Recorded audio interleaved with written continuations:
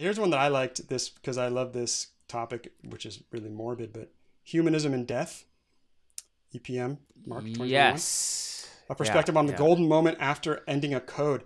I love the idea of the golden moment, and I I've done this from the beginning, but not as cool as this. I would say, embarrassingly. Uh, I don't. I didn't ever do it formally. I had my own, you know, my own shtick, but it was mostly for me. And this is a, a good reminder that that it's for everybody. So, and they have a really good. Yeah, you here. know, I've been there many times where you're, you know, you're like, okay, call it and walk out.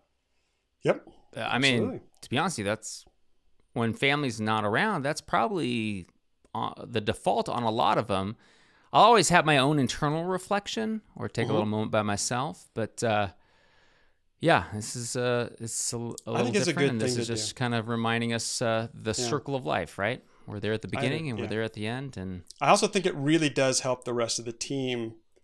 So mine mine was a was a light version of that, which is just I would say, okay, is there anything any like I would never end a code. I think you do this too.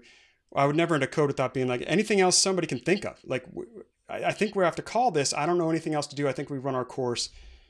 Can we stop? You know, anybody have any questions? And I would be you'd be surprised. You know, four percent of the time somebody goes, well, should we try this? And I go, no, this is what why we're not doing that. That really helps you, like the whole team, put a period on the end of that sentence. And this is it's similar. You know, somebody could always It's use similar. this.